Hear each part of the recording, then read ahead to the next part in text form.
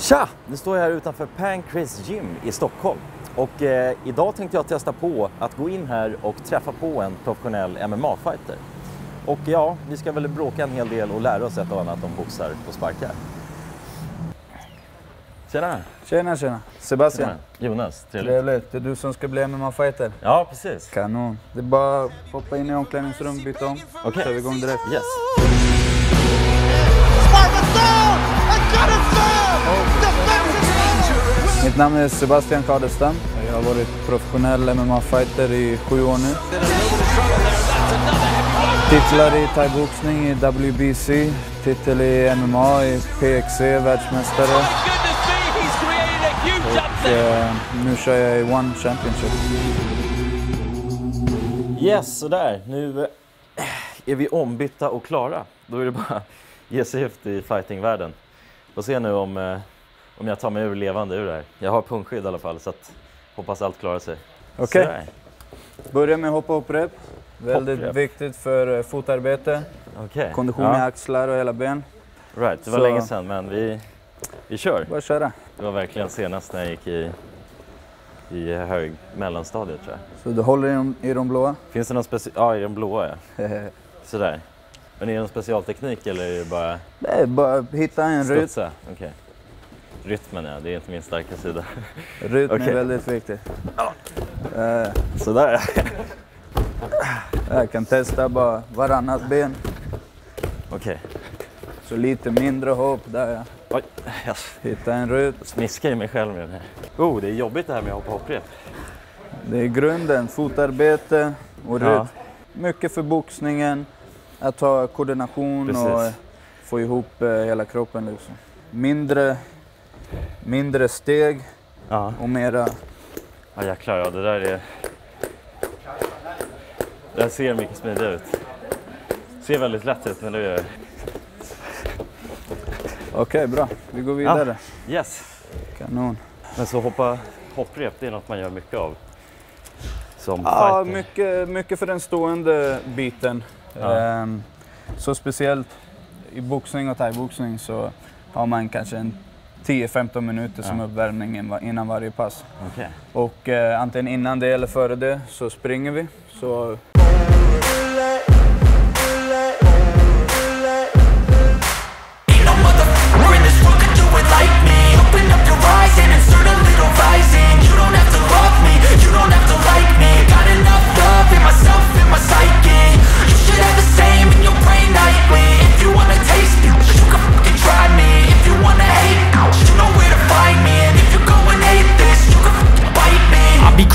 my lane fast, call it high speed. I've been working hard, yeah, I've been working nightly. If you think you'll win, ha, not likely. I be taking shots, yeah, cold-blooded, icy. Watching numbers grow is what I call sightseeing. In the front row, run it up when they hype me. The following grows, they know how to ignite me. Call me CEO, I've been running sh right, see?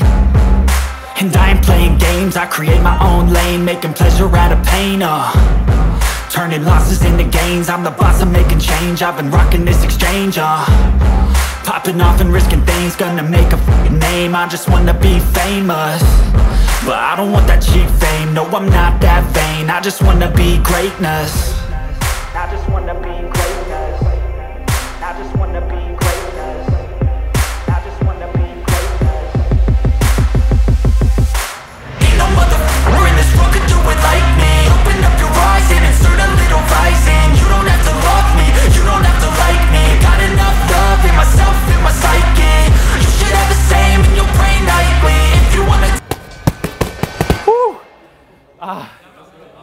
Fy okej. fan vad jobbigt det här var. Åh! Så jag, jag brukar, när jag tränar inför match så brukar jag köra sex gånger sex minuter ronder på plattorna. Och då är det fullständigt sånt här Och då kör vi full, fullt. Så det här var ungefär 30 sekunder. Ah, Så det är lite jobbigare än, än vad det ser ut. Ja, ah, jävlar. Och jag tänker i det här, om man är professionell fighter måste man också tänka. Nu får jag instruktioner vad jag ska lägga förslag liksom. Om det här var liksom jag i en ring skulle jag bara stå som, som en clown egentligen. Vad, vad är den värsta skadan som du har fått under en match eller träning över karriären? Ehm, Jag tror... Eh, jag bröt handen en thaiboxningsmatch. Jäklar. I andra ronden kände jag så här. "Ah, Fuck, okej nu är den borta. Ja. Men man har så mycket adrenalin så, är så. så. jag Du lyckades... körde på med ja, jag körde på hand. tre ronder till och lyckades knocka honom Det var i så du sista lyckades ronden. knocka honom? Ja. Jäklar. Det är starkt ändå alltså. Ja, det, men på den tiden jag bodde i Thailand och man slogs för bara så här mat på bordet och då, Okej, ja, då är det inte, det är viktigt. inte mycket som stoppar den där. Nej, så man får köra på. Yes, då var det dags för den stora finalen. RMMs helt egna Jonas Andersson kommer möta Sebastian. Ja, det kommer gå till så här, det kommer vara några olika grenar. De kommer börja på golvet, Jonas kommer börja försvara sig. Sen kommer han attackera. Klarar sig Jonas mer än 30 sekunder, då väntar ett pris. Annars väntar en, eh, ja, något annat. Ja, är ni redo? Då kör vi. 3, 2, 1, kör!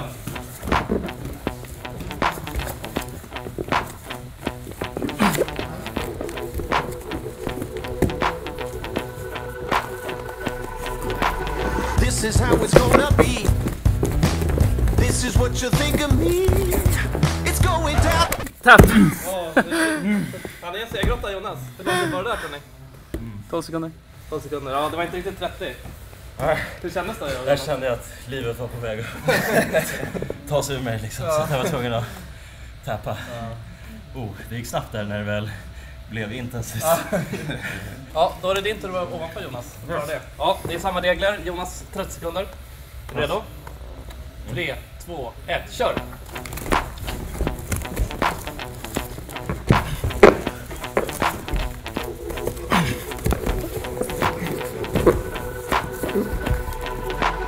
This is how it's gonna be. This is what you think of me.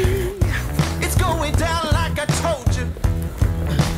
This is how it's gonna be. I'll be the last man standing here. I'm not going anywhere. Kämpa på bra Måns. Ja, det var fan bra ju. Man kämpar på bra. Ah, Ja, han är bra, han rör sig. Han rör sig bra, stark. Jag försöker bara lite fantasi i det jag gör liksom. Det är bra. Så mycket oh, tankar. Ah, men det är jobbigt. Jag blir helt slut efter en sån här. Nu blir det stående.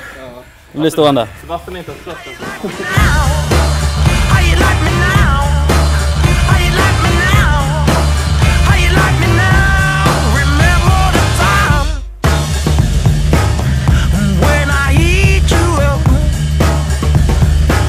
Det dags för den sista grenen. Det är alltså stående fighting och eh, här är det ingen tidsgräns utan det kommer vara så länge Jonas klarar sig egentligen. Sebastian kommer ta det lite lugnt i början men han kommer trappa upp med tiden bara för att se liksom vad Jonas har lärt sig då. Vi kör igång. 3, 2, 1, kör!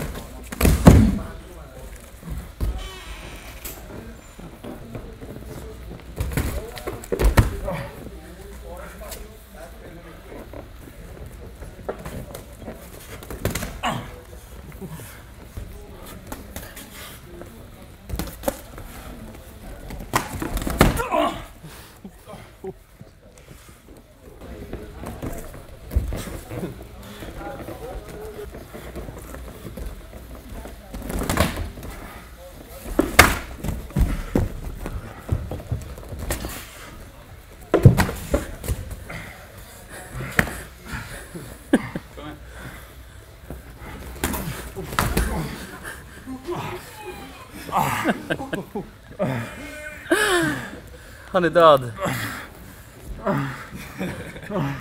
Gick det bra? Hur känns Jonas?